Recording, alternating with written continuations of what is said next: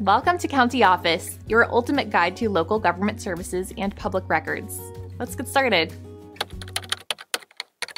Can you renovate with a mortgage? When considering home renovations, financing options are a primary concern. One common question is whether you can use a mortgage to fund these renovations. The answer involves understanding different mortgage types. DUNA Standard Mortgage typically covers the purchase price of a home. However, certain types of mortgages allow for renovation costs. One such option is the FHA 203K loan. This loan combines the cost of the home and the renovation into a single mortgage. Another option is the Fannie Mae Homestyle Renovation Loan. This loan also allows you to include renovation costs in your mortgage. Both loans require detailed renovation plans and cost estimates.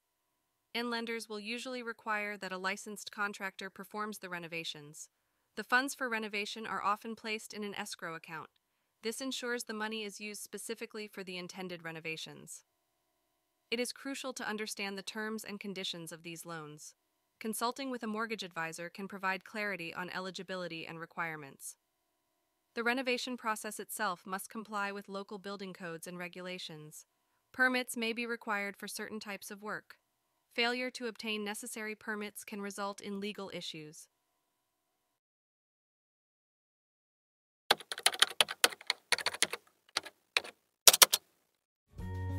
To learn more, check out these links, which you can click in the description below. And feel free to comment your questions. We're here to help. Thanks for tuning into our video. Please like and subscribe and leave a comment below. See you in the next video.